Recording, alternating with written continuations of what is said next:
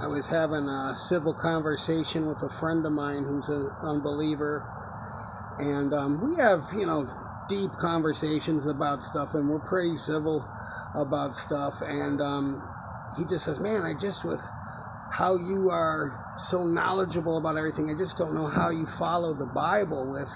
how it's been corrupted from different languages and different translations and different words meaning this and that. And I said, Well, here's the thing, you know, how come that isn't a problem in other books?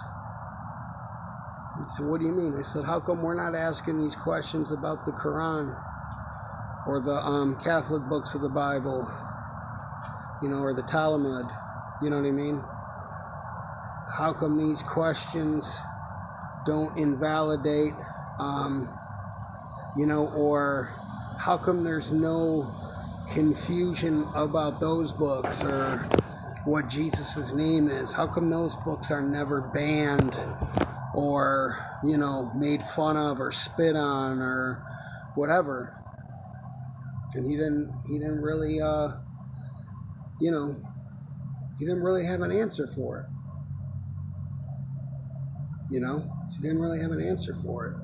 When you realize they made the biggest mistake in the world by putting all their. See, the world doesn't care if you worship Buddha, if you worship Allah, if you worship Krishna, if you don't worship, or if you whatever, because that's a win as long as you don't worship for as long as you ain't worshiping Jesus and believing in Him you're all worshiping the same God, anyways. You know what I mean?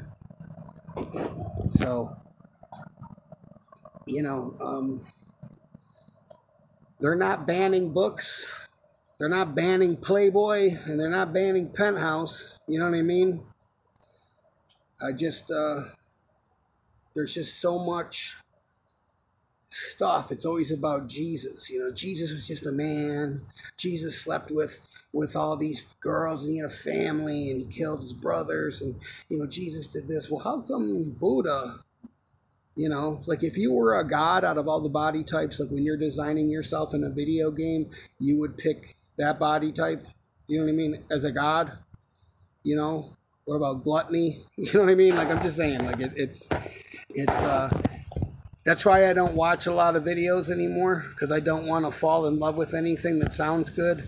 And that's how I ended up with this ridiculous tattoo from watching videos and going, yeah, there has to be aliens. Well, yeah, there are, but they're not aliens.